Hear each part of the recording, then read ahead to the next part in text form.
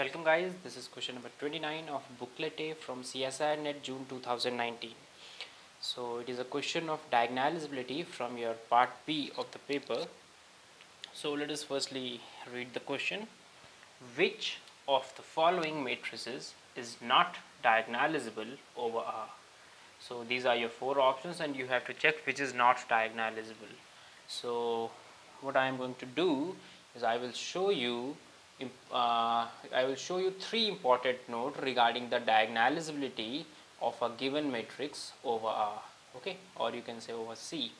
So using those three notes you can conclude that which one of is false okay. So these are your three notes. So the first note suggests you the uh, suggest you that a square matrix capital A is diagonalizable if and only if algebraic multiplicity of your eigenvalue is equal to geometric multiplicity of eigenvalue. And this should happen for every eigenvalue of that capital matrix A okay? Capital capital A matrix. Now your second note suggests you that algebraic multiplicity is always greater uh, greater than equal to geometric multiplicity. Now third number's note says that geometric multiplicity is actually given by this formula okay so let us firstly see your first option. Your first option is actually a triangular matrix. Since it is a triangular matrix so all the eigenvalues are its diagonal element. So from this thing what you can conclude that lambda 1 is equal to 2 and lambda 2 is equal to 2 and lambda 3 is equal to 3 okay? Now you have an eigenvalue 2 which has algebraic multiplicity 2. So what I will do, I will find the geometric multiplicity of this eigenvalue 2.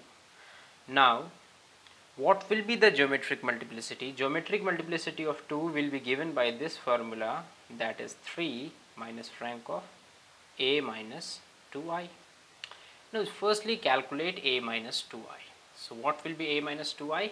I am considering this matrix to be a so A minus 2i will be 0, 0, 1, 0, 1, 0, 0, 0, 0. So this will be your A minus 2i matrix. Now what will be rank?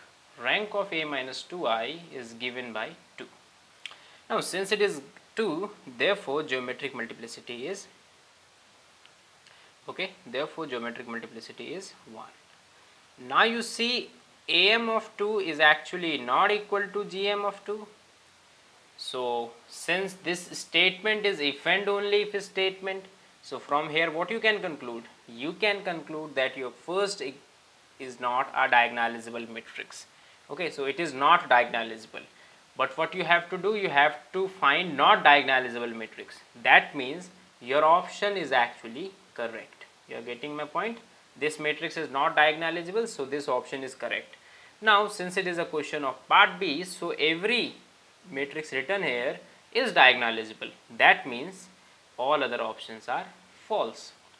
So what you can do, okay, what you can do is using these three note, okay, three important note, you have to just figure out this thing that these three matrices are diagonalizable.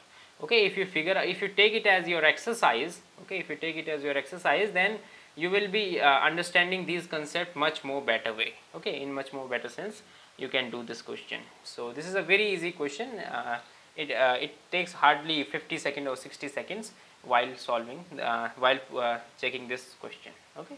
So thank you guys.